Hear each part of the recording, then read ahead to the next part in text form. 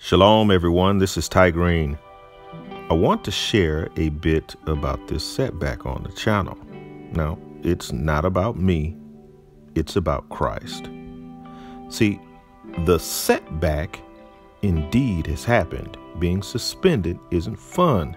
And yes, there's a considerable effort going forth to reach as many of you as possible to come on over to the backup channel. But the focus isn't on the setback, it's on the comeback. Not my comeback, but the comeback of Jesus Christ. It's not about me, folks, it's about Christ. May the Lord be glorified and his people edified. Now, we all know that I'm not the first one that this has happened to, and certainly not the last. Yet we continue to focus on the mission. Souls saved in Jesus' name, folks healed, delivered, and set free. Folks to be encouraged in the Lord and to the Lord. We're focused on the comeback, the appearing of Jesus Christ. Even when times get tough, be encouraged, everyone. Now, I'm going to leave it here for now. I want to share this encouragement from Ephesians chapter 1 verses 3 through 10.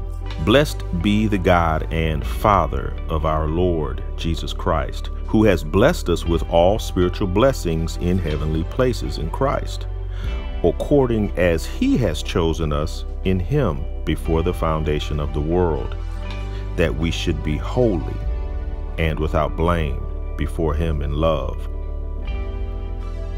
having predestinated us unto the adoption of children by Jesus Christ to himself, according to the good pleasure of his will, to the praise of the glory of his grace, wherein he has made us accepted in the beloved, in whom we have redemption through his blood, the forgiveness of sins, according to the riches of his grace, wherein he has abounded toward us in all wisdom and prudence, having made known unto us the mystery of his will according to his good pleasure, which he has purposed in himself, that in the dispensation of the fullness of times he might gather together in one all things in Christ, both which are in heaven and which are on earth, even in him. May the Lord add a blessing to the reading and hearing of his word.